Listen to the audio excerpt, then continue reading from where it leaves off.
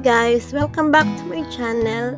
At kung first time mo dito sa channel ko, please do subscribe guys. At maraming marami pa akong share sa inyo ng mga baking tips and ideas and cake decorating tips and techniques.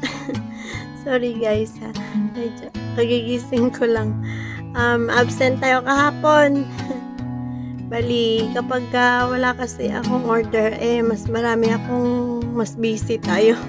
Pasensya na kayo. So, for today's video guys, gagawan man tayo ng um, Golden State Warriors pare na team ng um, cake natin. Bali yan guys, oh.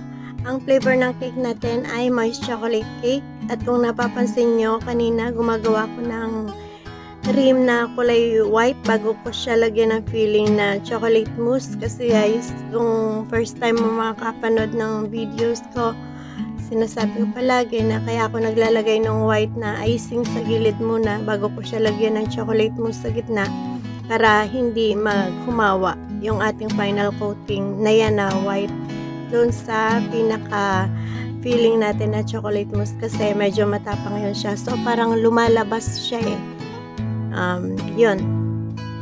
Bali, ang cake ko palagi ay color white lang at sobrang thin layer lang ng, at, ng ating icing na may color. Yun guys, ganyan lang. And sobrang bilis lang ng video na to. Sobrang dali lang din kasi kasi sobrang lang din niya at syempre madali lang din yung procedure natin gagawin. Lalagyan na natin ng printed toppers. Bale, itong order na to ay order siya sa atin nung last uh, February 14 pare. Sorry na.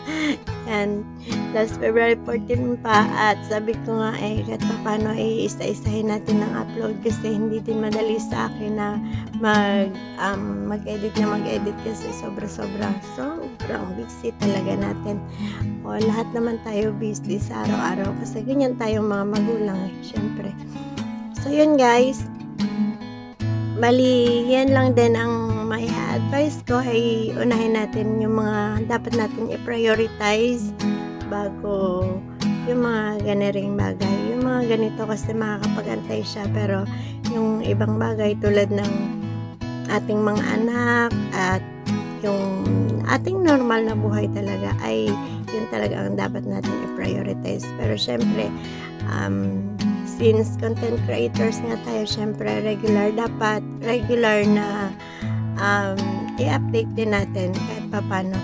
Um, okay lang yun na hindi tayo nakapag tambay-tambay dito sa ating mga YouTube. Ang importante lang ay i-update natin sila as much as kaya natin. Bali, wag lang natin pababayaan. Mag-upload tayo ng kahit na anong update, kahit post, kahit kahit shorts lang. Basta meron lang kahit papano. Wag natin pabayaan na hindi natin ma-uploadan within 6 months, sa loob ng 6 months. Kasi para maiwasan natin na ma-demonetize tayo. So, yun lang guys. Thank you, thank you so much. At ingat kayo palagi. God bless sa inyo lahat. I love you all. Mwah!